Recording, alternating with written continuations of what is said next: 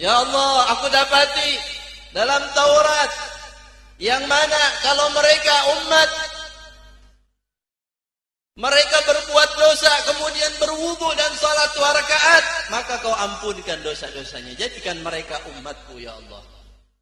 Maka Allah menjawab innahum ummatu terus satu sifat demi satu sifat sampai lebih kurang lebih dari sepuluh sifat sifat-sifat kemuliaan yang Allah berikan kepada umat Rasulullah di mana Nabi Musa memohon ya Allah jadikan mereka umatku.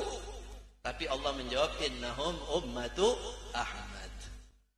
Sampai akhirnya Nabi Musa mengatakan ya Allah jama'tal khair kulluhu li ummati Ahmad. Ya Allah kau kumpulkan segala kebaikan buat umat Muhammad. Faj'alni min ummati Ahmad. Jadikan saya umatnya Ahmad juga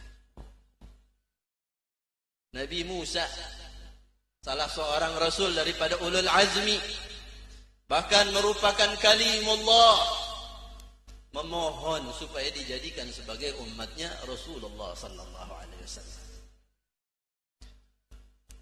Tapi kita tanpa ikhtiar tanpa usaha kita dengan ilmu Allah dalam ilmu azali ditentukan kita menjadi umatnya Muhammad sallallahu alaihi wasallam Bahkan kata ulama mengatakan di antara kemuliaan Rasul dan umat Rasul bahwa Nabi Isa alaihi salam juga merupakan salah seorang umatnya Rasulullah sallallahu alaihi wasallam.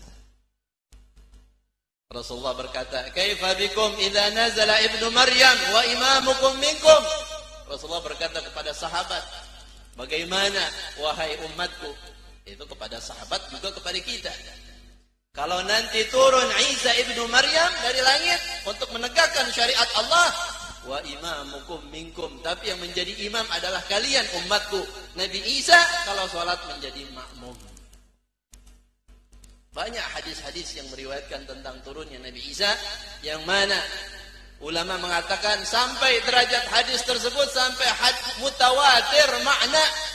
Dalam bentuk mutawatir makna.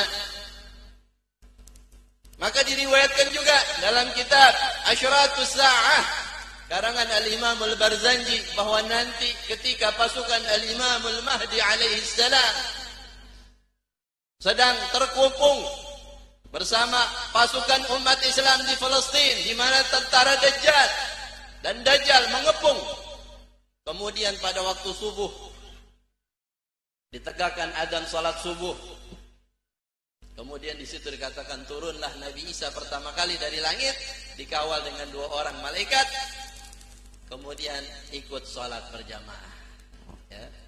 Ketika Sayyidina Al-Mahdi menyuruh Sayyidina Isa alaihissalam untuk menjadi imam, maka Nabi Isa mengatakan tidak, imam daripada kalian. Takriman lihadil ummah.